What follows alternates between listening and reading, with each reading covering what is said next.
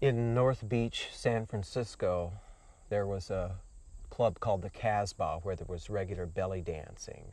And I stopped in there, I heard the beat, the very beat that you hear opening Aerial Boundaries, played on a doumbek mid-eastern drum. And I went in there and I swear the the belly dancers got mad at me because I was watching their band and not them.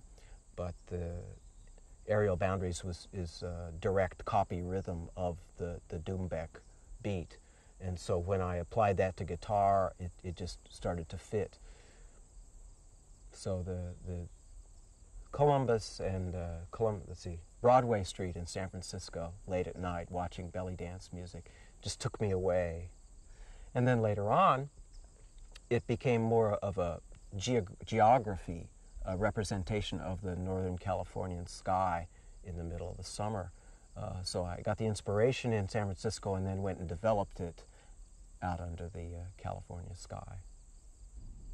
When someone has an idea that hasn't been done before, uh, the music really doesn't have to be groundbreaking. It's the idea that I did it on guitar. There's plenty of minimalistic pieces that Steve Reich has written, also Philip Glass.